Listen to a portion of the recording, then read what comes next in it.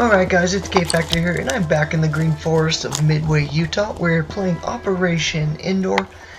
This scope cam footage is going to be from Team Deathmatch, and I will be using my new Leaf suit, which worked out very, very well. As far as my sniper rifle, that's a whole nother story, but we'll get into that later on in the video, so hope you guys enjoy.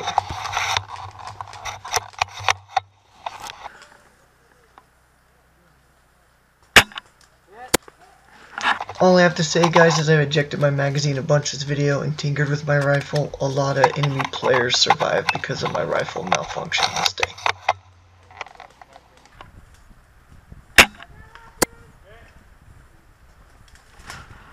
In the leaf suit, I didn't even get fired at once because enemy players could not see me due to my elevation and just how well this suit worked.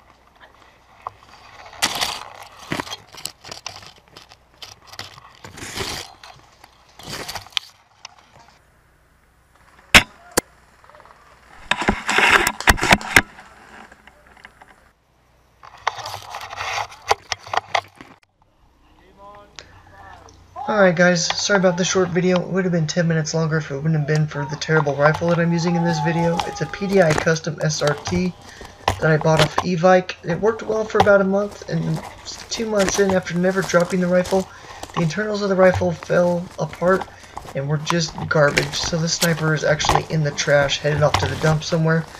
I will be saving up for Novritsch S SG-24, where I won't be let down by a terrible rifle. This rifle double fed on me, it jammed, the bolt stopped working after me. And keep in mind guys, I'd never even drop this thing. Do yourself a favor, save up your money to get an SSG-24, or buy a Well L96 for 150 bucks. It won't let you down like this rifle did to me. Anyway guys, that's enough of my rant. Please like and subscribe and share this video for more upcoming videos. And I'll see you guys in September. And once again, this is K Factor. We'll see you guys next time.